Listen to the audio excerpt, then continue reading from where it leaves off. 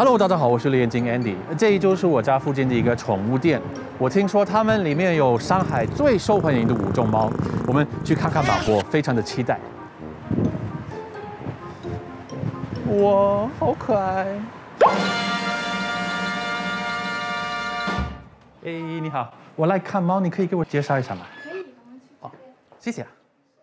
So, which cats are most popular in Shanghai right now? First up is the Maine Coon.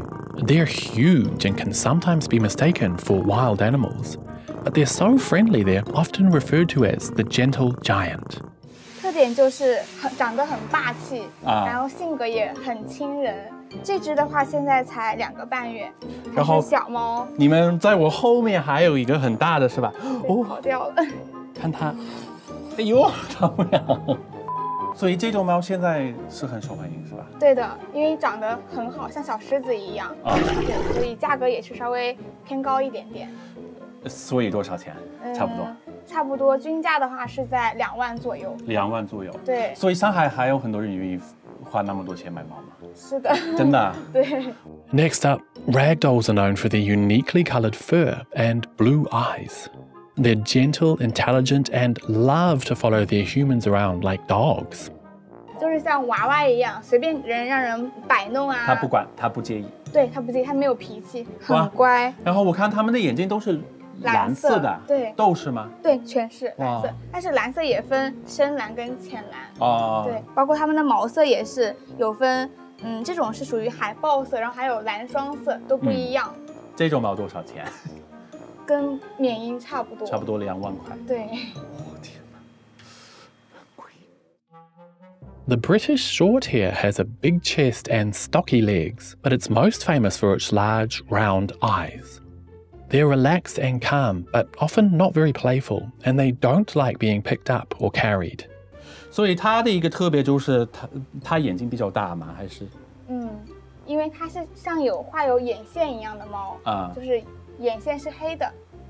嗯，银渐层的话，差不多是在五千这五千到八千左右。所以这个算是比较便宜吧，五千到八千，比较大众化的一种啊。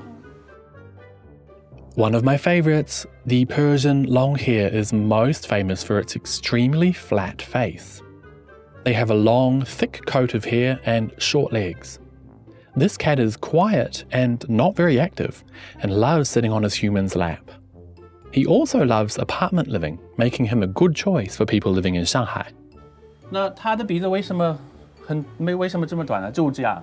因为品种的原因，加菲猫它就是鼻腔很短，嗯，所以泪腺会比较发达一点，所以就是需要嗯主人更加细心的照顾它啊。对，是每天擦一擦眼睛什么的。对，因为它们会流眼泪啊。品种的原因，但是这个不是说有关有影响到它的健康，它是本身就会这样啊。会多少钱？嗯，加菲猫吗？嗯，五千到两三万都有。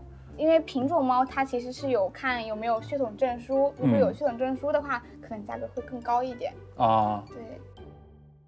And last but not least, the Oriental Shorthair may look familiar because he's closely related to the Siamese cat.